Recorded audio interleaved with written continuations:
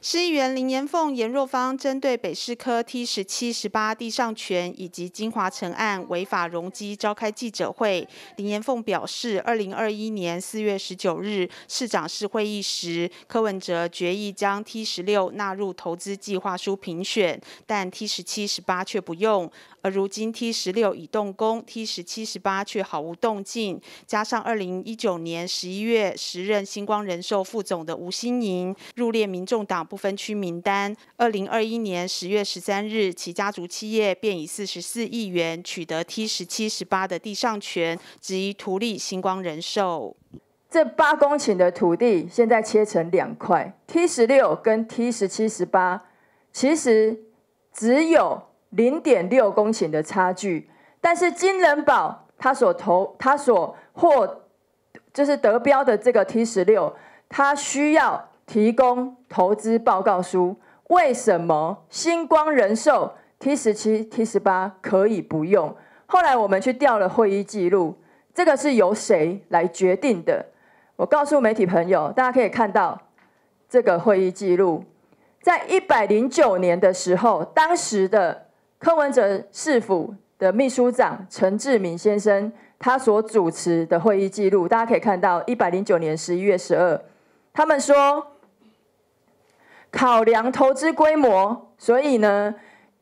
要如同我刚刚所说的，T 十六跟 T 十七、十八呢，要把它分开招标。大家可以看到挂号里面是写到，T 十六必须要采投资计划书，然后呢评选。合格了之后，再用价格标来决标，就是所谓的三阶段的这个评选。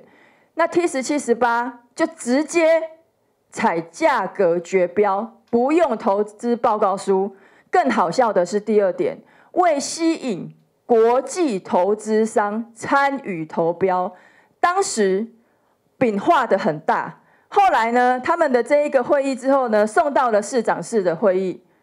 大家可以看到，在一百一十年四月十九号，是由柯文哲主持正式的拍板定案。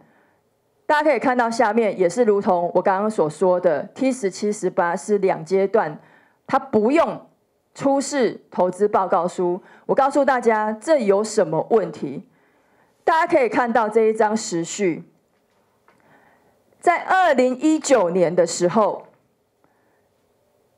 不分区立委的提名的名单，当时民众党就已经把吴新颖放入提名名单里面。到了二零二一年的四月十九号，他们拍板说可以 T 十七、T 十八不用投资报告书。再来到了十月，谁得标了？星光人寿得标了。再来，我要告诉大家。我刚刚是不是说他们说要吸引国际投资吗？后来在这一个案子里面，投标厂商只有星光人寿一家，没有其他厂商，我们就要质疑，你会不会是在帮星光人寿开小门？市议员严若芳则批评，在金华城案中，容积率以各种名目从百分之三百九十二直冲百分之八百四十，且根据监察院纠正报告指出，这样的容积奖励不但超过台北市土地使用分区管制自治条例锁定上限，也没有获得法律授权额外给予。这个案件虽然已经很久了，但我们也希望蒋万安能够正视这件这么重大为师的。从郝龙斌前市长针对这个好那个呃金华城在做公转山商山的时候，后面希望金华城希望能够放宽容积，但连郝龙斌都不太敢做这样的事情，而且行政诉讼全部都败诉，都已经被驳回。可是，在柯文哲又开了一起小门，大送容积奖励。创了有史以来八百四十趴的容积奖励，也在今年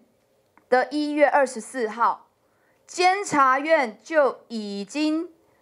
明确的告知了台北市政府，针对金华城这个八百四十趴的容积，它是有抵触法律，而且在这个容积奖励上面，都市计划系部。计划审议原则第八点的要点，它确有重大为失，是直接告诉你有重大为失，而且内容也有写到无法源依据，且以逾越抵触了台北市的土地使用分区管理自治条例及都市计划西部计划审议原则之规定。这么明确的纠正，告诉了台北市政府，这一样有史以来最高的容积八百四十趴的容积是逾越了法律，是有重大违失。从北市科 T 十七十八到这个金华城这一段，我们希望蒋万安市长可以硬起来，可以针对贱卖台北市。甚至有图利厂商的财团的嫌疑，这样子的案件，他应该要严办，应该要重新来审查。市议员林延凤、严若芳要求蒋万市长应将这两案送检调，严查行政责任，并依法废止金华城案违法容积，要求星光人寿限期补提投资计划，并坚持三不给：不延展契约中建筑最晚取得始造年限，没有取得始造前不同意移转地上权登记，没有缴纳契约年限所有权利金和土地租金前不谈修约。记者李奇慧台北报道。